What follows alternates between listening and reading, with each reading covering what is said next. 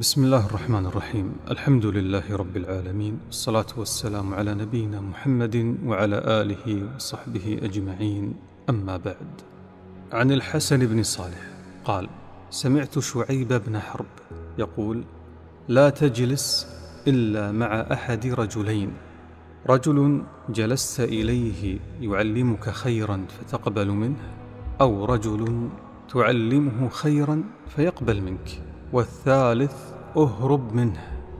ولا شك أن نصيحة شعيب بن حرب هي إشارة لأهمية الصاحب.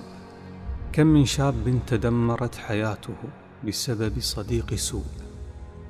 وكم من شاب انتعشت حياته وأشرقت بسبب صديق الخير. والمثل المعروف يقول الصاحب ساحب.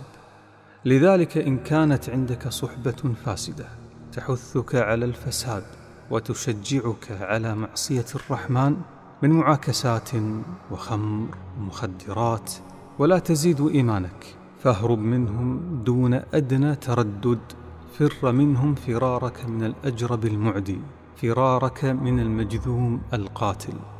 فأنت تسير على حافة مرتفع عال. هاويته واد سحيق.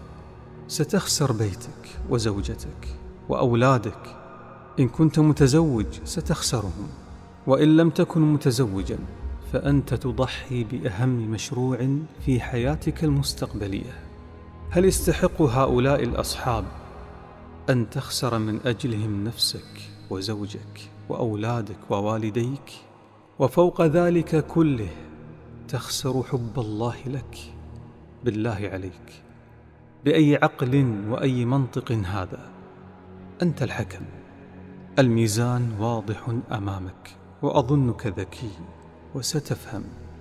واستمعوا إلى هذه الآية العظيمة الواضحة وضوح الشمس التي يأمرنا الله من خلالها بمصاحبة الأخيار والتشبث بهم. هي وصية الله لنا وصية الحكيم الخبير الملك الجليل الذي قال عمن اتبع هداه فمن اتبع هداي فلا يضل ولا يشقى. يوجهنا العليم الخبير بكلامه المجيد فيقول واصبر نفسك مع الذين يدعون ربهم بالغداة والعشي يريدون وجهه ولا تعد عيناك عنهم تريد زينة الحياة الدنيا ولا تطع من أغفلنا قلبه عن ذكرنا واتبع هواه وكان أمره فرطا. الله هو الحكيم هو أحكم الحاكمين.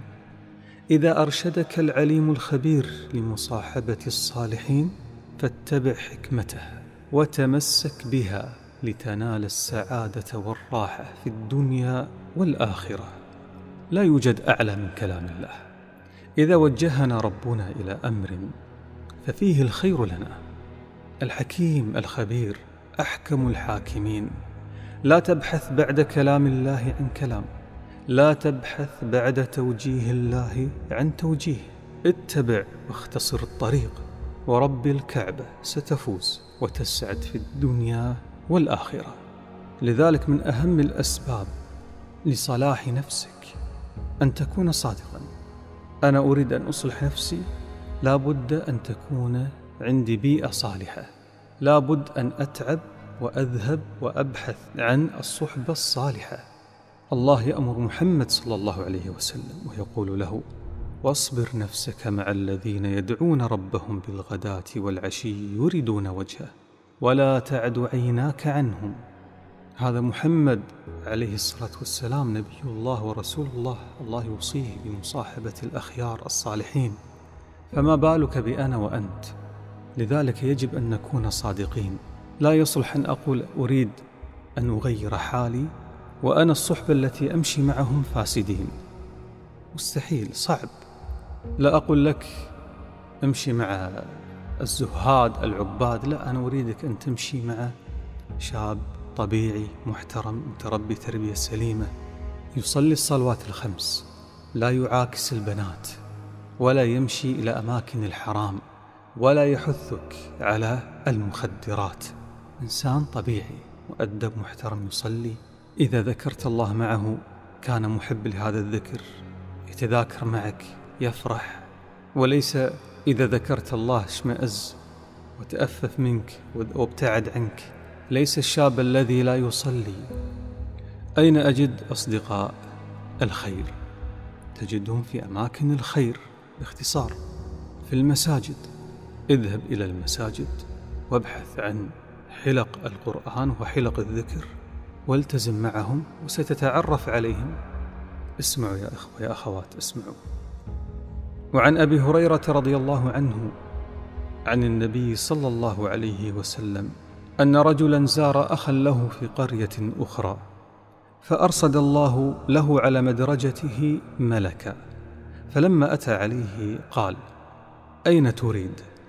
قال أريد أخا لي في هذه القرية قال يعني الملك هل لك عليه من نعمة تربها؟ يعني هل بينك وبين أي مصلحة؟ تجارة، مصلحة، مال، أي شيء هل لك عليه من نعمة تربها؟ قال لا غير أني أحببته في الله عز وجل قال فإني رسول الله إليك بأن الله قد أحبك كما أحببته فيه. رواه مسلم. الله أكبر. انظروا إلى إلى إلى إلى قيمة وقدر الحب في الله. وعن أبي هريرة رضي الله عنه قال قال رسول الله صلى الله عليه وسلم إن الله تعالى يقول يوم القيامة أين المتحابون بجلالي؟ اليوم أظلهم في ظلي يوم لا ظل إلا ظلي. رواه مسلم. عن أبي مالك الأشعري قال كنت عند النبي صلى الله عليه وسلم إذ قال إن لله عبادا ليسوا بأنبياء ولا شهداء يغبطهم النبيون والشهداء بقربهم ومقعدهم من الله يوم القيامة. فقال أعرابي حدثنا يا رسول الله من هم؟ فقال هم عباد من عباد الله من بلدان شتى وقبائل شتى لم يكن بينهم أرحام يتواصلون بها ولا دنيا يتباذلون بها يتحابون بروح الله يجعل الله وجوههم نورا وتجعل لهم منابر من نور قدام الرحمن يفزع الناس ولا يفزعون. ويخاف الناس ولا يخافون. قال ابن حجر حديث حسن. اذهب إلى حلقات العلم في المساجد وتعرف على الطيبين. اذهبي إلى حلقات الذكر والقرآن يا أختي. بعد إذن ولي أمرك. واحرصي على مصاحبة الصالحات. فالصحبة الصالحة لها مقام كبير عند الله.